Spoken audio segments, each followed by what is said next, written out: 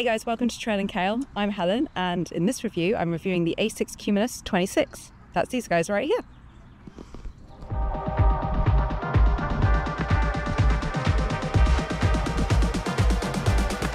In this Asics running shoe review, I'm going to be going over the key features of the Cumulus 26, who they're designed for, what kind of running they're for, the things I like about them, the things I feel that could be improved for the next version, and ultimately whether they're worth the $140 price tag.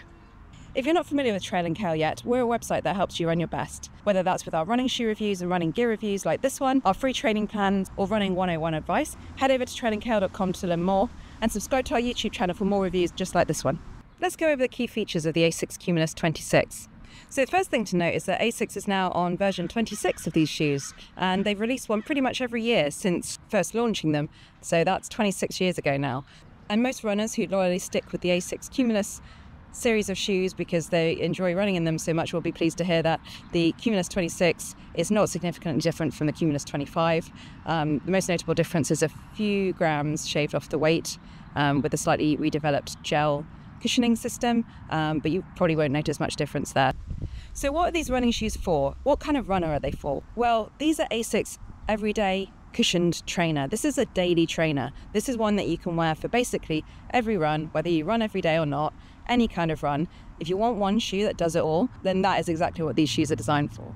A pair of Asics Cumulus was actually my first pair of running shoes many years ago. And that brings me on to my next point that if you're new to running and you're looking for just one pair of running shoes, so you've got a proper pair of running shoes to get started on, then the Asics Cumulus are a really great choice for that because they are a great all round daily trainer. And at $140 price tag, they're pretty well priced as well. You're not going to find a better shoe for less money than that. So, how do they fit?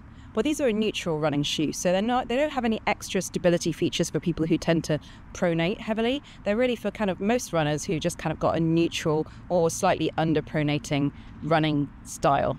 Um, and if you're not sure about that because you're new to running, then it might be worth going to a running store where you can get your gait analysed. Um, but the vast majority of people are going to be kind of falling into that neutral category that these shoes are designed for. The drop from heel to toe is 8 millimeters. The heel stack's around 38 millimeters, so kind of fairly high stack on these shoes, um, but pretty typical for shoes that are marketed as a daily trainer. So you've got a lot of cushioning in that heel area. That cushioning also runs through towards the front of the shoe, so you kind of got it throughout the shoe, regardless of where your feet are landing as you run. In terms of weight, my pair, which is a woman's US 7.5, weighs 7.7 ounces, which is pretty average again for a pair of cushioned neutral running shoes. So, how do they fit? Well, straight out the box, they fit true to size. So, if you know what your regular shoe size is for a pair of trainers, then stick with your usual size, whether that's your size in other brands such as On, Hoka, Saucony, um, Brooks. Um, if you know what your size is in any of those other brands, for example, then stick with that size in these Asics shoes and they should fit you just right. Let's take a quick look at some of the features up close. Okay, so in the midsole, you can see pure gel and FF. These are Asics proprietary cushioning, and you can see here um, they are very cushy foam here. So lots of cushioning and support for when you're running. Um, moving up to the upper, let's take a look at that. So this is an engineered mesh upper you can see here. Um, so there's holes for breathability, um, pretty durable mesh, I'd say all around the shoe. So kind of the same material that you've got in the toe area is the same material that you've got kind of wrapping around the side of the shoe here. Um, so it's a slightly different mesh to the Cumulus 25, but the same kind of concept here. Laces have got a bit of stretch to them, really easy to do up. Um, so no issues there. It's just pretty straightforward. It's what we like to see with a pair of everyday trainers. You don't want to have to worry about how to getting the laces sorted. Um, and then taking a look around the collar and the heel counter. Um, it doesn't really kick out here, but fits very nicely out the box and um, you know no, no rubbing or anything like that. It's very comfortable. The tongue is also made of mesh and that's kind of interesting to me. You can see there's holes in here for breathability. You can see my socks through there as well. So the tongue's kind of soft and floppy um, with a bit of stretch to it. It's got a loop on it that goes through the laces to keep it up, um, which you need because this is a kind of a soft material. It's not a very rigid tongue. So let's take a quick look at the outsole as well on these shoes. So they're pretty straightforward. Um, it's interesting because it looks like it's made of a very similar foam or rubber um, to the midsole. Um, it's got grooves in here for traction. You can see it's kind of been wet here um, and been running in kind of damp conditions and um, had some pretty good traction on these. Um, so again, kind of a nice design for an everyday neutral trainer that you can just wear for running or just going about your business every day.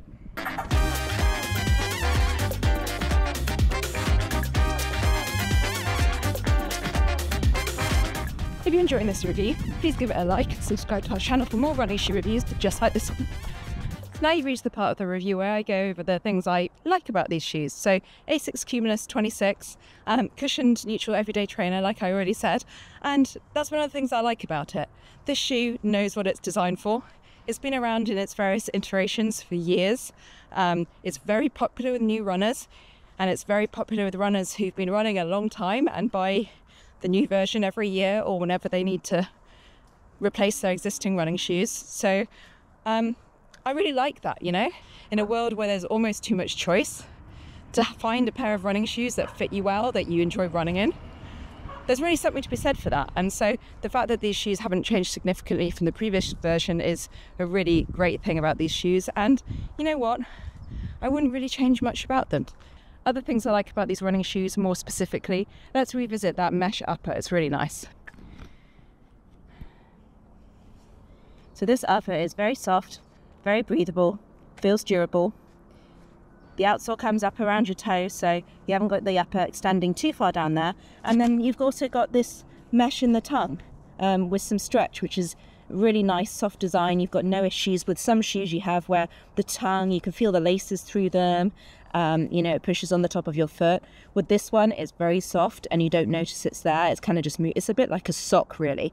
Um, so that's a really nice feature. And like I said, it's got a loop here, so the laces go through it so the tongue doesn't slip down as you're running. I also really like that these shoes fit true to size, so you don't really need to go shopping around trying different sizes. I would not suggest that you size up in your running shoes. Generally, with any running shoes that are true to size, I would not suggest that you size up. In my experience, that actually creates more issues for you, um, particularly as a new runner if you're not sure what size and how your shoes should fit when you run. Um, so stick with your usual size so you're getting the proper fit. What's not to like about the Asics Cumulus 26? Well, I wouldn't say there's anything not to like about them. They're pretty great all-round running shoes, and you know it'd be hard to go wrong if that's what you're looking for. In terms of what's not to like, the question is really are these the right running shoes for you? Are these the best running shoes for you and where you are with your running journey and your running goals and how you want your running shoes to feel when you're wearing them?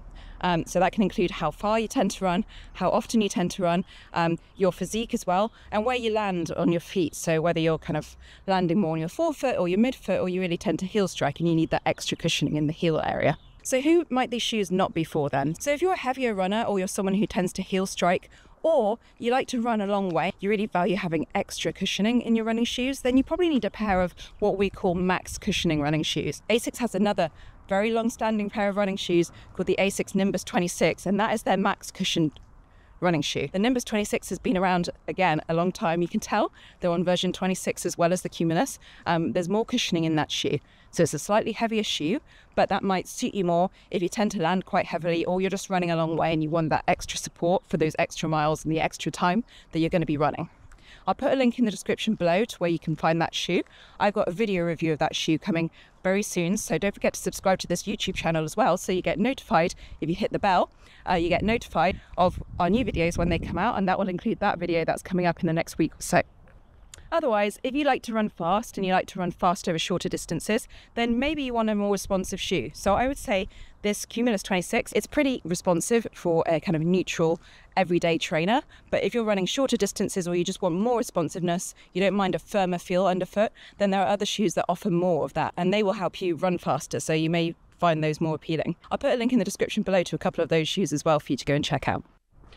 So wrapping up this review then, are they worth the money? Well, $140, like I said earlier in this review. If you're looking for a daily trainer with some good cushioning that you can wear for basically any run you want, um, whether that's just a few couple of miles around the block or whether that's a, anything up to a marathon distance or probably better half marathon distance because you might want more cushioning on a marathon, um, then these are a great choice. And they've been a great choice for many years for many runners, and I don't think you'll go wrong. That said, if you've got any questions about them, drop me a comment below and I'll get back to you as soon as possible. Thanks for watching this Asics Cumulus 26 review. I'll see you on the next one.